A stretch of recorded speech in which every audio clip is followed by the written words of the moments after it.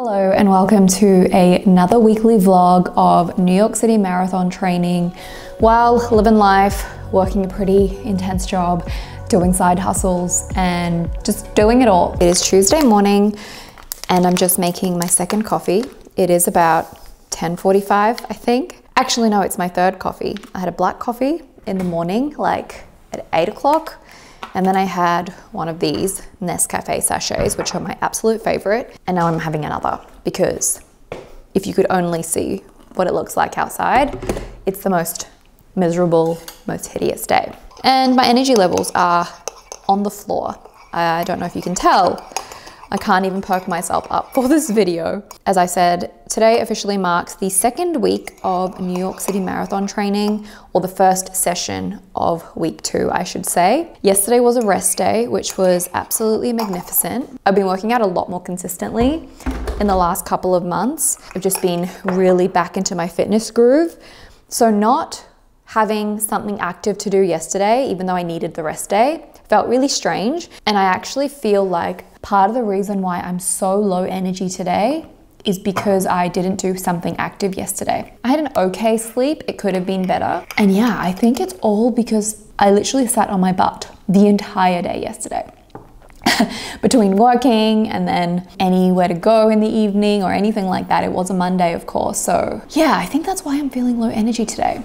Tuesdays are my busiest work day, just in terms of meetings and today, just the sheer number of tasks I need to get done in between all the meetings. But other than that, I also have a TikTok sponsored video to edit as well as a YouTube video to edit and upload amongst just other life admin. So there's a lot to do and it's not an ideal day to be feeling so low energy, but I'm gonna just embrace it and we're gonna get through whatever we need to get done here is what this week's training is looking like. We have a 6.5 tempo run today, then a lower body strength session tomorrow, a 7.5 easy on Thursday, and the long run is 11, followed by an upper body.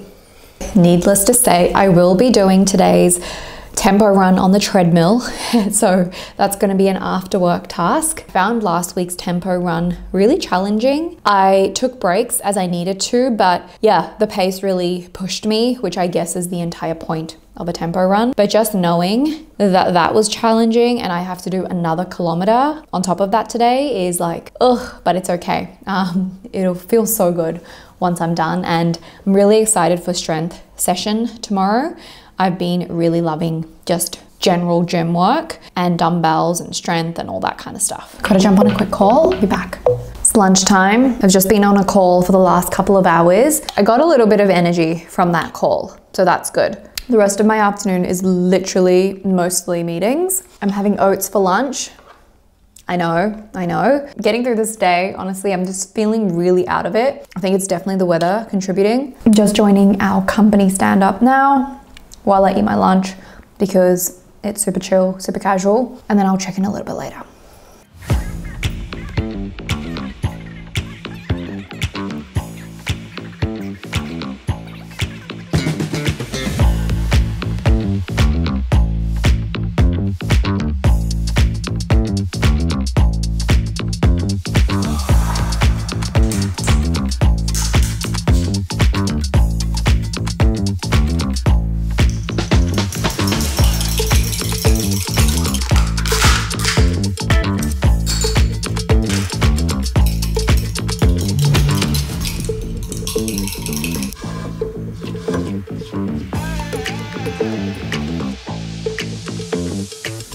Just finished work. I closed the laptop, immediately went to get changed into my running clothes. So my brain did not even have a chance to think about this run that I'm about to do. It's still a little bit bright outside, but it is absolutely pouring, which I'll show you in a second. And I think the gym's gonna be packed. So fingers crossed I can get a good treadmill. A good treadmill is one where I'm not just staring at a blank wall and I can hopefully see out the window. And yeah, I'm gonna smash this 6.5k tempo run. I'm gonna feel amazing afterwards. I have so much editing to do tonight, which I'm very much looking forward to. So that's gonna be my treat. And yeah, we're just sticking to the plan. What I love about having a plan is you really have to talk yourself out of doing it It's not like you wake up and you're like, what should I do today? Should I work out? Should I not? What should I do? Should I do a long workout, a short workout, Pilates, a run? No, it's up there and all I have to do is do it. Like previous me has already made the decision.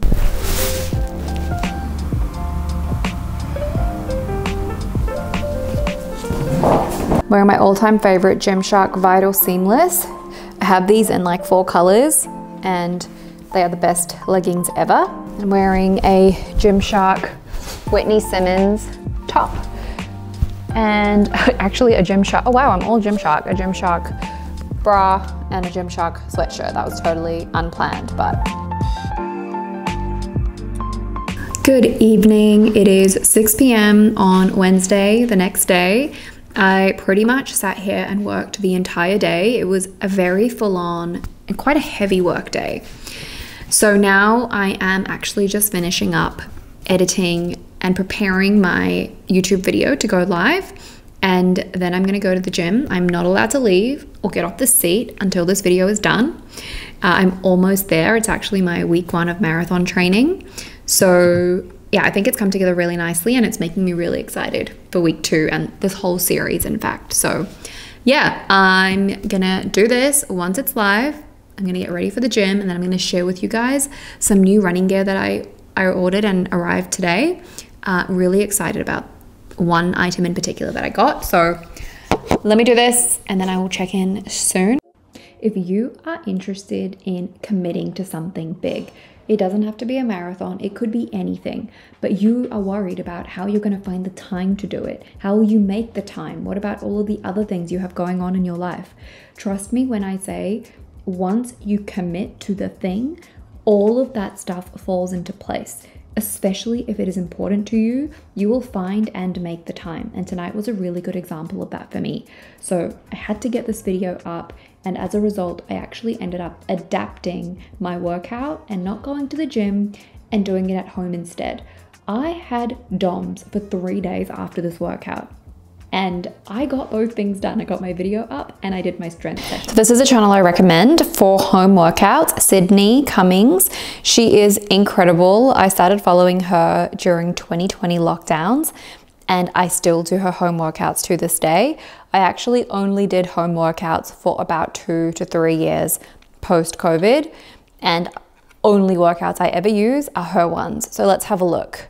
So she's got lots of, she's got you can go through her playlist. So there's 20 minute legs, 30 minute workouts, 40 minute workouts, um, timed based workouts. No equipment, specific body parts. So I might do a leg workouts playlist and go through this. So there's a 45 minute lean, strong, best at home legs, sweaty, lean, and strong legs, empowering glutes and abs, low impact 45 minutes legs and glutes. Hmm, the problem I have is I can never decide which workout to do. She has that many and they are all so challenging. Uh, I might just do this one 45 minute lean, strong at home workout. What's up everyone? Welcome to. Let's do it. I've got some decent equipment at home to do a home leg workout. I have two eight kilo dumbbells and then I have two five kilo dumbbells.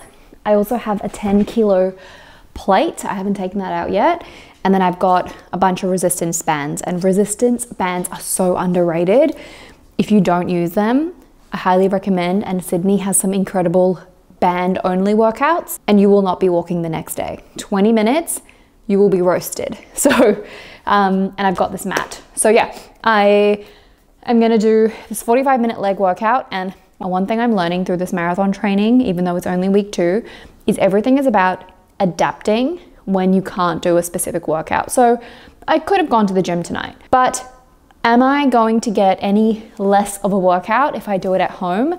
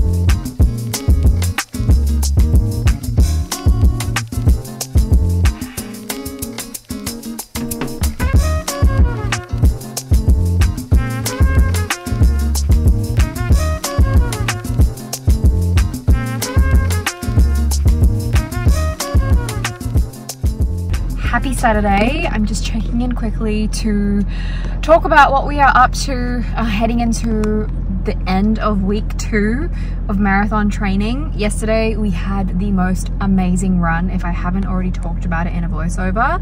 Um, the run felt so effortless and I felt so light and airy and it was just an absolute breeze. The 7.5k easy run that we had scheduled actually turned into an eight kilometer run. And that just left me on an absolute high on Friday night, which was yesterday. So today we have just been roaming around, we got coffee, we had brunch, uh, and we are just getting some merch that we're making for ourselves for the marathon as well, which is really fun. So we just ordered some really nice hoodies and track pants, and then we're going to be custom making a little logo for the back and front to put on our hoodie. So it's just a little fun creative project that we're gonna work on. And then it's it's about four o'clock right now, but this evening we will be going to do an upper body workout. Really looking forward to that because I haven't properly worked out upper body in a while and there's nothing like just a good strength session. And then tomorrow we'll have our long Sunday run. However, plot twist, there is apparently some kind of Arctic storm coming to Melbourne or Australia over the weekend. We don't know when it's going to hit. It, it is already quite cold. So we'll have to see how we go for that tomorrow. Worst case scenario, we do the 11K on the treadmill and I'm actually totally fine with that. But hopefully we can squeeze in the outdoor run at some point during the day. Even if we do have to run in the rain, I'm fine with that. I think it will be really good for us to just build up some resilience doing so. I just don't want to get sick. So yeah, that is what is currently going on and I will check back in later. ハハハハ!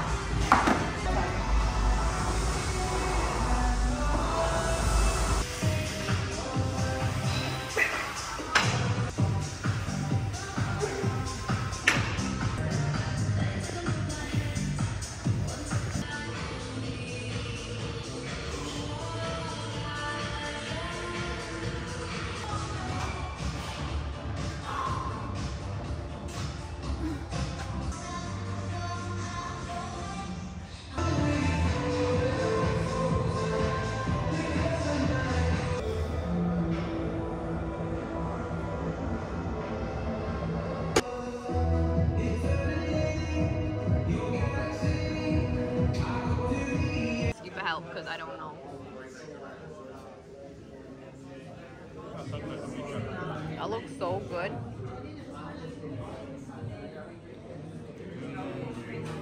Happy Sunday. It is long run Sunday and it's an 11 kilometer run on the plan for today. I'm currently making French toast as pre long easy run fuel and we have a plot twist today because it's pouring outside. So, so haven't completely decided how this long run is gonna happen.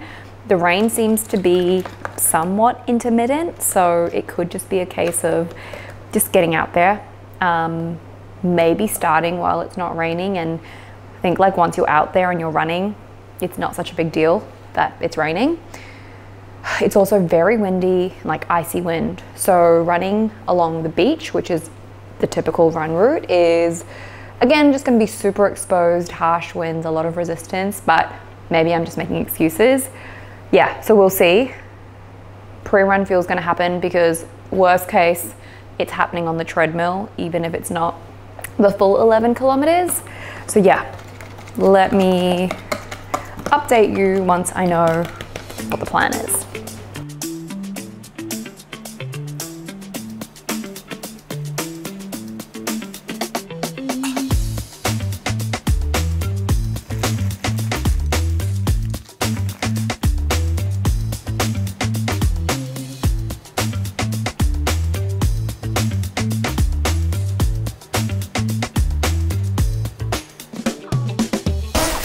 Maybe not the coolest look, but very practical. Wearing Gymshark Vital Seamless tights, which are not warm, but they're just the OG.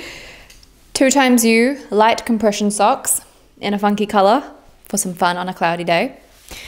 Uh, Under Armour Heat Tech top. I don't think it's that warm, but apparently it's supposed to be, so we'll see. Then Running Bare Thermal jacket, Thermafit or something. This is meant to be warm. It's a bit fleecy inside and it's made for running. Nike, just raincoat thing. Does it have a hood? Yes, it does have a hood. 2XU fleece headband.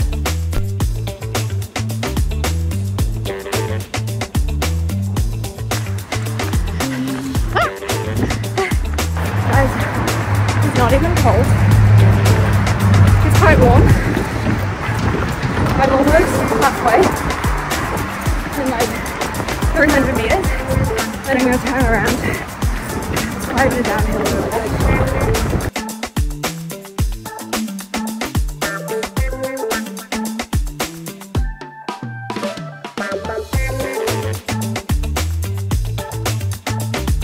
And just like that, it's time for our week two debrief. How was week two? A lot easier.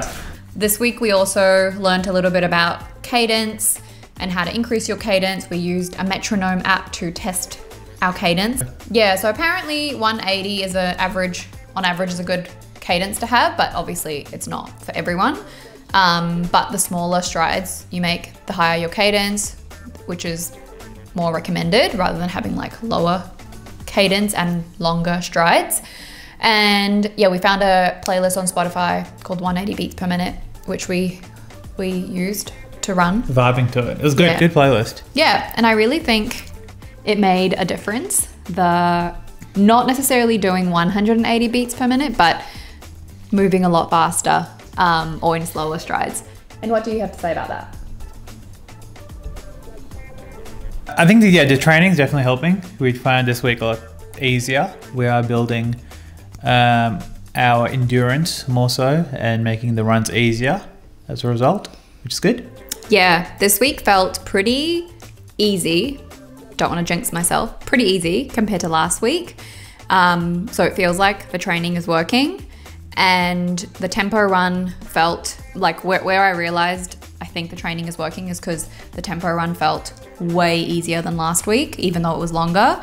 And the easy run felt so easy that we we did half a kilometer more than we needed to. Yeah, the easy run is really good. Yeah. We were just like in the zone, Yeah. pushing. Yeah. So we got a deload week next week. Feels like a break. Feels like we barely have to do anything this week, which is quite nice to get to the point where you don't feel like doing five workouts a week as much. Yeah. So, yeah, training plans work. We have done a 10 week training plan before, which we followed pretty strictly hmm. for a half marathon, and That was my first ever one, so I really needed a training plan. and it worked. It worked. Anyway, I'm going to wrap up week two here and really looking forward to continuing to document week three. If you did get this far, thank you so much for watching. And the word of the week, which you can comment down below if you did get this far, is Gym bod. Gym bod. Gym bod. All right. Thanks for watching and see you for week three.